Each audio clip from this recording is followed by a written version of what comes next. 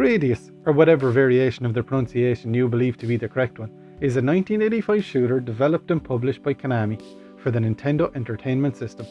The developers decided to make it a horizontal shooter because they wanted to reuse material from Scramble, a 1981 arcade game also developed by the same company. It was even originally called Scramble 2, but after a process of trial and error within different movement patterns and weapons while developing, a laser was chosen as the featured weapon within the game.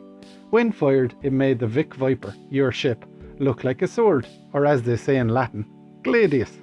The incorrect translation was complete and the game had a new name. When gameplay begins, your transdimensional spaceship Vic Viper is pretty slow and only has a low level weapon. This can be altered by collecting and using power ups as you progress. Instead of being predetermined like other games, the different power ups in Gradius can be selected by the player. Everything from a speed boost, laser boost, missiles, and more can be selected from the power up menu that appears in the bottom of the screen. The amount of power ups you've collected will determine which selection is available, and when chosen by pressing the B button, will return the power up section menu to its initial state with no more power ups available.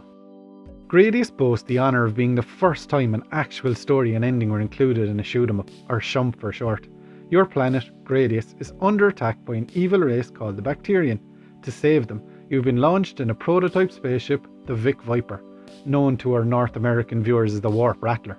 You must pilot through several different stages set throughout various environments, fighting a seemingly endless horde of enemies and bosses along your way to destroy the core. These bosses, while different in their own way, have similar attack patterns, and the end goal is usually the same shoot everything that moves until it's dead. Some cores are protected by destructible walls, which will be broken down by your constant barrage of shots. As you progress, bosses can even regenerate them, but when a core's destruction is close, they will change colour. As each of a boss's cores are rendered useless, it becomes less able to defend itself, and eventually it culminates in an extremely gratifying explosion. Although pretty much all the backgrounds are an identical black with a few stars, the rest of the graphics are a triumph for the time. Futuristic enemies that look different in a host of alternating stages look glorious. There is some slowdown when a lot of the action is happening on screen, but overall, across the seven levels packed with a different musical theme for each, it truly is a wonderful sight. Gradius is considered the grandfather of side scrolling space shooters and is loved by many, but if you're not a seasoned shmup player, it's damn hard. At any time, there can be up to a dozen individual danger zones on screen. By this, I mean areas on screen where you'll die instantly, and the game will make you start again without any of those glorious power ups you just busted your god unlocking, sometimes even putting you directly back to the start of your most recent level. As you play, you'll learn patterns and improve, but sometimes, sometimes it'll seem impossible. One of the game's creators, Kazuhisa Hashimoto, had this very problem. Try as he might, he just couldn't progress in the game. He watched his ship being destroyed over and over again while testing, and finally had enough.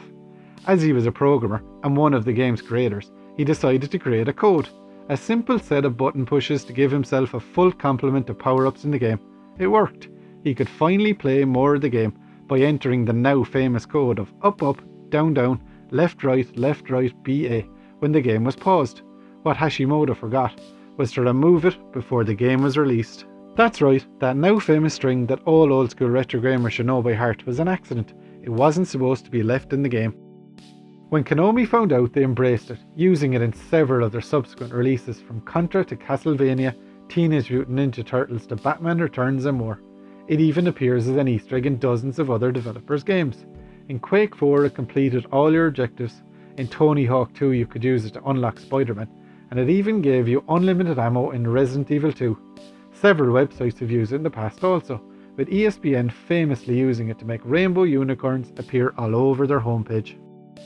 So whether you use it or you don't, and regardless of it being an error, we can all sincerely thank Hashimoto for a code that has become a treasure of retro gaming history.